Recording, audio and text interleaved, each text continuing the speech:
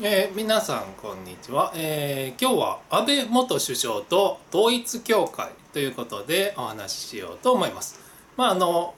旧統一教会っていうのがまあ正式だと思うんですけど、まあ、統一教会ということで、えーまあ、読んでいこうと思います。でまあ、今日ですね、えーまあ、いろんなニュースのヤフコメを見ていると、えーこういうコメントがあったんですよね。えー ORI 米米米米米さんまあねあの後半はあのなんていうか隠されているっていうね、まあ、この方が、えーどんなことを書いてるかっていうと、まあ、読み上げます。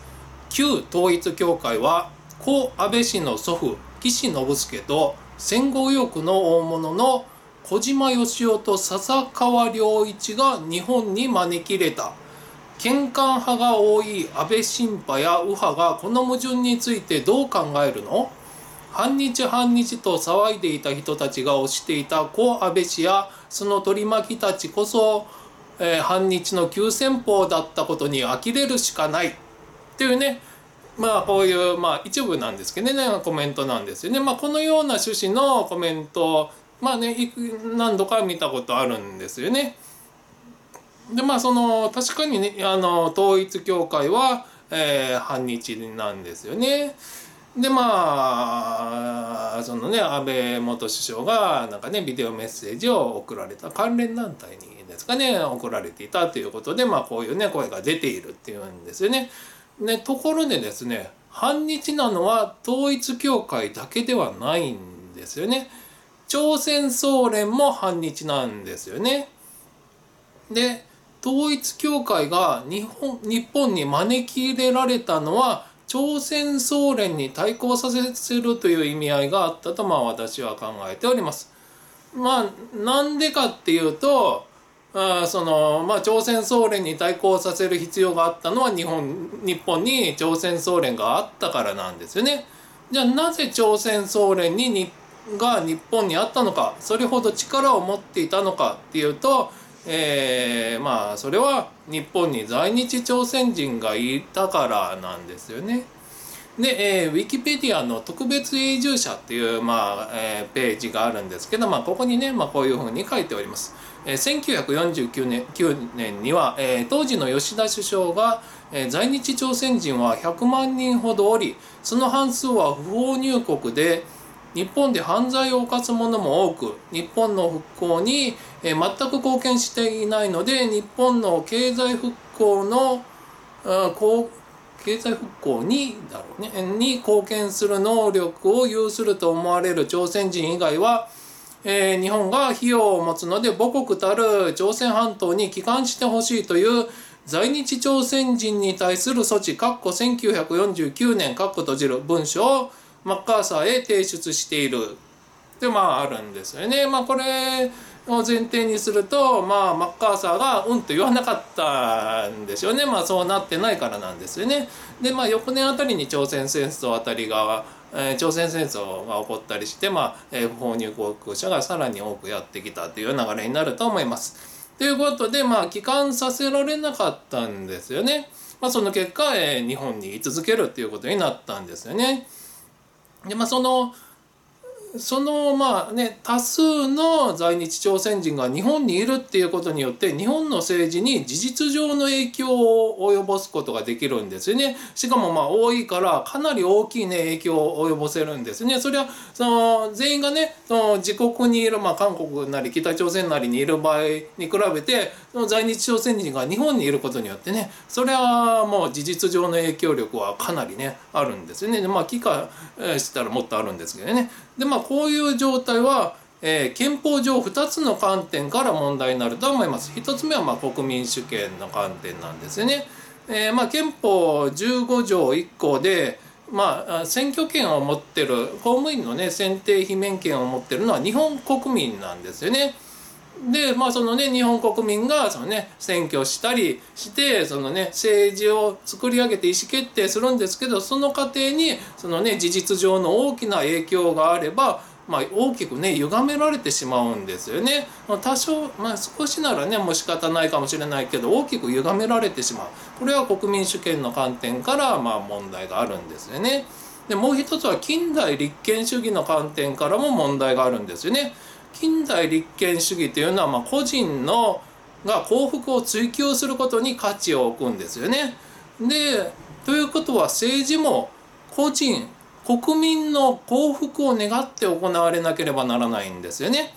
ところがですねまあ在日朝鮮人の方々はその植民地支配があったとかね、まあ、そういうことを理由に、えー、日本人を恨んでいるんですよね。まあ基本的に恨んでるんですよね。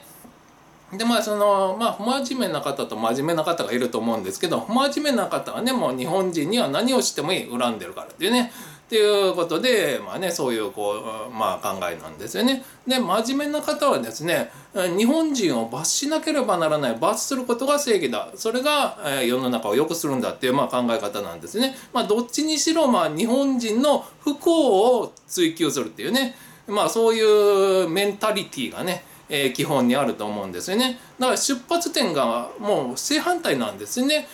日本国民の幸福を願って行われなければならないのにもう出発点が日本国民の不幸をね、えー、願うっていうね、えー、まあその近代立憲主義っていうか立憲主義とまあ真逆の方向性があるっていう、まあ、2つ目のね問題点があるんですよね。まあ、こういうまあ問題点があるんですけどでまあそういう状況で朝鮮総連が勢力を拡大していったんですよね。でまあ政治というのはまあスライムだと思ってるんですよね私は。まあその水なんていうかね水滴みたいな形のねなんかあの、えー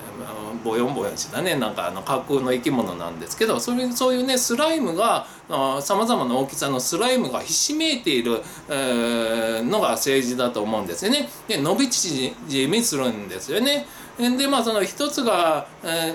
ー、なくなると、まあ、小さくなるとその部分ね他がその大きくなるみたいなねそういうスライムがひしめいてる場だと思うんですね。でも朝鮮総連スライムがその勢力を拡大してボワーってねこれはいかんということで、まあ、対抗勢力が必要なんですね対抗スライムがバーンってねいないと朝鮮総連がもう膨らんでいくからでそのまあその対抗勢力つまり反共勢力としてまあ導入されたのが、まあ、統一教会だと思うんですよね。でまあその社会問題ねたくさん起こすんですよね。でただその問題初めから見えていたわけではないんですよね。でまあその後社会問題化したしかしですねえまあ朝鮮総連は強いんですよねすごい影響力を持ってるんですね。でどれほど強いかというと、まあ、そのフロント政党である民主党が一度政権を取ったくらい強いんですよねもうものすごく強いんですよね。まあ、その民主党が朝鮮総連のフロントであるというのは、まあ、あくまで私のね、まあ、試験になります。でまあこれぐらい政治とマスコミとかねにまあ浸透してるんですよね。でまあ過去まあ自民党にもの議員ともまあね、えー、つながりを持っていたっていうね、えー、加藤浩一氏とか、まあ、野中宏武氏とかがまああのね、えー、ちょっと私が持ってる本にはね名前が出ていますあと一人ぐらいなんか載ってたと思いますでまあ今もひょっとしたらね、まあ、自民党にもまあつながりを持ってるんじゃないかなというは思うんですよね。でまあそのね今もその強い勢力を持ってるんですよね。えー、去年で一昨年かなまあその衆議院議員選挙でその野党4党が市民連合と協定を結んだっていうのがあったんですよね。で私はこの市民連合の陰に朝鮮総連が見えるんじゃないかなと思っております。というわけでまあこれほどねまあ、えー、力が強いんですよね。ということは反共の勢力まあそれに対抗する勢力も力をかき集めないといけないんですね。で政治というのは社会における事実上の力。まあ、社会にはねいろいろ利益があって利益にはそれを支える、まあ、力があるんですね。力がない利益はもうねしぼんでいくばかりなのでね。でまあそのまあ利益の基盤となる力のが分布している状況をその事実状態を国会に反映してで法律というルールに変換するっていうね、まあ、一種高めるという、事実状態を法律状態に高めるっていう、まあえー、過程作用だと思ってるんですよね。でまあその統一教会は社会問題を起こしたけど日本の社会において事実上の力として実在してるんですよね。例えばまあ人を、うん、まあね投票権持ってる人はまあね選挙参政権も行使できるしあとはねスタッフとしてね働くこともできるしあとはね献金金とまあ人脈とかいう、まあ、そういう力としてね実在してるんですよね。でまあ究極の選択なんですねこれは。まあ、統一教会か朝鮮総連かっていうまあ選択なんですね。さっき言った通り朝鮮総連が強いからもうどっちも嫌とかいうそういうこと言ってられないんですねもう究極の選択まあどっちか選ばなきゃいけないという、う状態なんですね。でまあかき集めないと総連が勝つからもうね、えーまあ、どっちも嫌だけど、まあ、こっちしか仕方がないなっていう、まあ、選択になるんですね。でまあその最初は、えーまあ、冷戦の時代だったし、まあ、なおさらね、えーまあ、朝鮮北朝鮮系のね、えー、組織を選択するっていう選択はなかったんですよね。でまあ冷戦後もソ連が強いからやっぱりね対抗勢力をかき集めなければいけないというので、まあ、究極の選択として選ばざるを得なかったのではないかなというふうに思っております。ただまあその副作用としてまあそのね、まあ、同一視されてしまうっていうねまあそういう、まあ、副作用もあるんですよね。でまあそのでまあその日本も、まあ、戦後ね、えー、かなりその権力が弱体化されたんですよね。でまあその戦後の政治の過程で、まあ、戦後秩序、まあ、そういう弱体化した状態から、まあ、少しずつね脱却していったんですよね。でまあ元はもう特定秘密保護法もなかったんですね。ということはもう重要機密まあおそらくダダ漏れだったんだろうと思うんですね。もう、えー、まあとんでもない状態だったんですよね。でまあそのまあ、自衛隊違憲論とか専守防衛論とか非核三原則とかもう日本弱くしよう弱くしようっていうねでまあそういうので満ち溢れていたからまあ防衛とか国を守るっていうのが不十分だったんですよね。でまあ反米米軍に対する、まあ、アンチ活動も、まあ、盛んであったっていうね、まあ、今もされているっていうことになるんですよね。まあ、ところ、まあ、がまあいろいろ整備されていく過程でたのと並行して、まあ、北朝鮮は、まあ、とんでもないのはもちろんのこと南朝鮮のやっぱり実態も明らかになってきたんですよね。約束を守らないでまあ嘘をつくっていうねで挙句の果てにはレーダー照射して、まあ、それも認めないっていうねでまあとんでもないっていうことが分かってきたんですよね。でそのそのうちそのこのとんでもないっていう感覚が日本だけじゃないっていうのも分かってきたんですよね。 OINK っていう言葉があってなんか経済、えー、活動に関してなんか、えー、韓国ではとんでもないことが起きる only in Korea だっていうことで OINK っていうねえー、言葉ができたらしいんですけど、まあ、ということはまあ日本がとんでもないって感じてるのは、まあ、世界標準のね、えーまあ、公正な評価だったっていうことになると思うんですね。まあ、ただこの世界標準の世界っていうのはまあ西側自由主義社会のま標準になるとは思います。というわけで、まあ、安倍元首相は拉致問題に取り組み従軍慰安婦の強制連行というフェイクニュースとま戦った方なんですよね。というでまあねその北朝鮮系の反日活動とまあ対決した方なんですよねでまあその結果まあ目の敵にされてこんな人たちにまああの付きまとわれるっていうまあことになったんですよね。まあその反日の方がまあこういう活動はできないと思うんですよね。でまあこの慰安婦についての日韓合意後の韓国の行動とかまあねレーダー照射とかあって、まあ、安倍元首相もさすがにもう南朝鮮韓国もダメだなっていうふうにまあ、えー、まあ実感されたと思うんですよね。まあ、その結果がまあホワイト国待遇というまあ優遇措置の取りやめとかまあ会談しないとかいうね、まあ、そういう対応をされたんだと思うんですよね。でまあその結果まあ日韓関係が正常化してまあ日本人はそのねえー、わけわからないそね嘘言われたりするとかいうねそういう嫌な思いをすることはまあ減ってねまあ良かったなと思ってたらなんか最近ねまたなんかあの、えー、会談したりしてねまああの、えー、元の木阿弥に戻ってしまうんじゃないかというまあ懸念を持っております。というわけで、まあそのえーちょえー、統一教会問題っていうのは、えー、特別在日朝鮮人のね存在に行き着くんですよね。統一教会がなんで日本にあるのか。あそれは朝鮮総連があるから。なんで朝鮮総連があるのか。それは在日朝鮮人がいるから。じゃあ誰の責任なのか。マッカーサーの責任というふうにね、まあ、そこまで行き着くんですよね。というわけで今在日朝鮮人が日本にいる根拠となってるのは、まあ、特別永住権なんですよね。でまあその、えーまあ、統一教会はやっぱりねこの度も実態明らかになったように反日なんですよね日本にとって有害なんですよね。ただまああのその朝鮮総連も一時に比べるとまあややね、まあ、勢力を弱めてきてるかなと思うんですよね。まあ、辻元清美議員がまあね、えー、去年落選したとかね、まあ、今年ね復活してるんですけど、まあ、この度のね参議院選で、まあ、有田芳生前議員が落選したり、まあ、白新君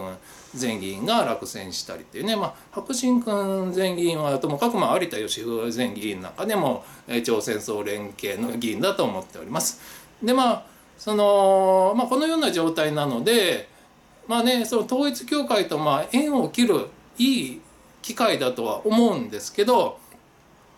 ただですね、まあ、朝鮮総連力があるので統一叩いて総連はびこるになってはいけないと思うんですよね、まあ、政治はスライムなので統一を叩いて追い出したその分朝鮮総連がボーンって出てきたわって、まあ、朝鮮総連がまたね力を持つっていうことになったらそれこそ反日がはびこるんですね。もう統一教会も反日だけど朝鮮総連の方が反日なんですよね。もう、えー、反日、えー、有害両方有害だけど朝鮮総連の方がまあそのなんていうか有害なスライムなんですよね。でまあこの度その統一教会問題に取り込むみたいなねなんか正義面してなんかね一生懸命、え語ってる人の中にはこのね有田前議員とか、まあ、田中優子元法政大学長とかまあこのお二人の方とかは、えーまあ、朝鮮総連とつながりがあると私は思ってるんですけどまあそういうね朝鮮総連系の方があの朝鮮総連の勢力拡大のためにね活動されているようにしか見えない、えーえー、ような、えー、方もね、えー、見受けられます。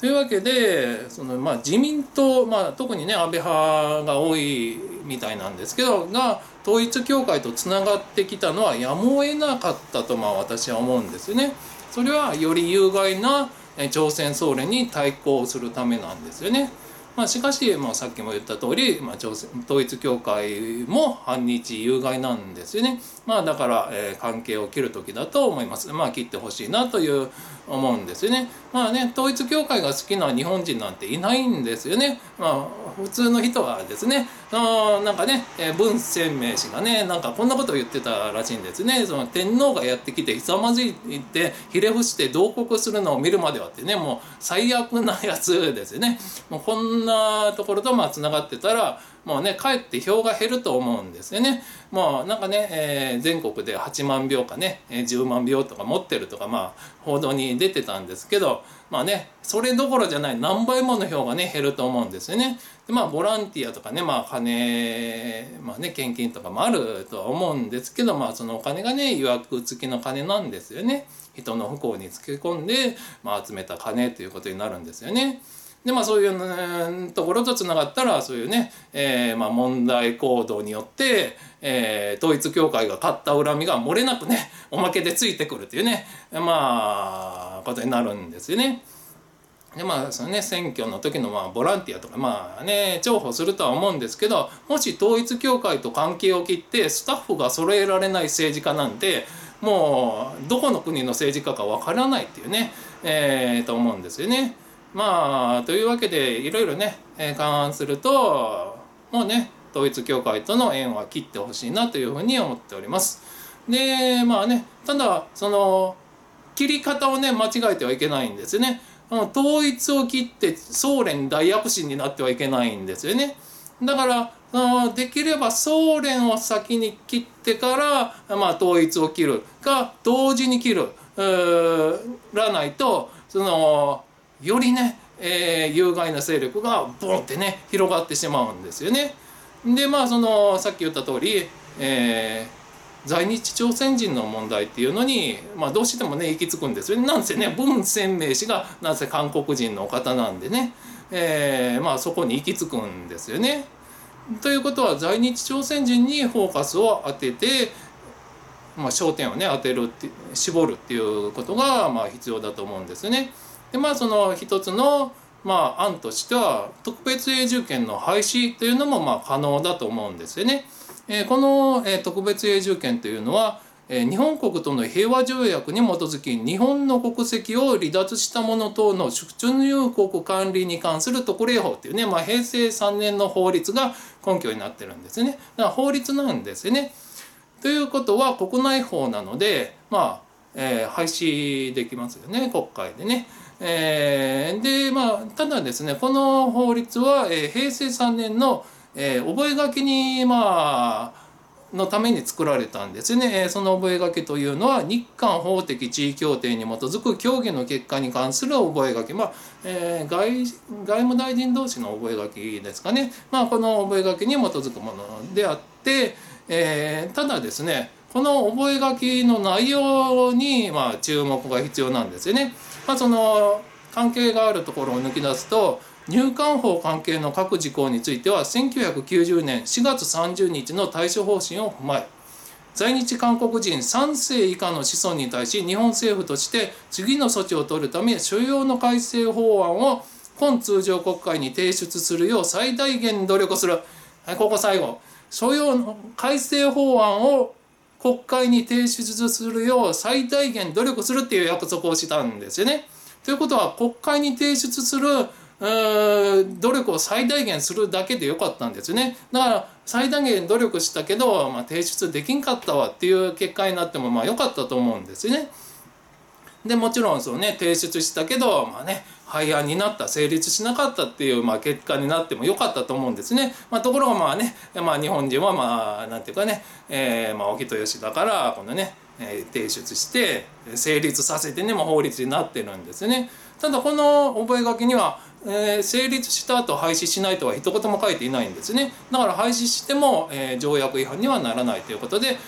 というわけで、えー、先ほど言った通り、えーまあ、国内法の廃止ということで、えー、純然たる国内問題として、まあえーまあ、国際法上の、ね、制約はないと私は考えているんですよね。えー、というわけで、まあ、そういうでまあそのそもそもおかしいのがその韓国はね約束を守らない国なんですよね。で約束を守らない国に対して約束以上のことをしてあげているのが日本なんですよね。まあこれがまあその、まあ、おかしいとね、まあ、みんなずっと思ってるんですね。えー、というわけで、まあ、国民主権と立憲主義の観点からこのね、えー、さっき言った特例法の廃止を議論してはどうかなっていうのをまあこれはね政治の役目になるので、まあ、検討していただけたらいいなと、まあ、できればね実行もしていただけたらなというふうに思います。というわけで私は、えー、まあ統一教会が朝鮮総連とセットで、えー、日本の政治から排除されていくことを願っております。でまあ、最初取り上げた織米米米米さんの、まあえー、コメントですよね。まあ、鋭いんですけど私はその朝鮮総連の、えーまあ、強さと、まあ、悪質さをよく知ってるのでまあそこまでねスパッと言い切ることはできないのじゃないかなというふうに思っております。というわけでご視聴ありがとうございました。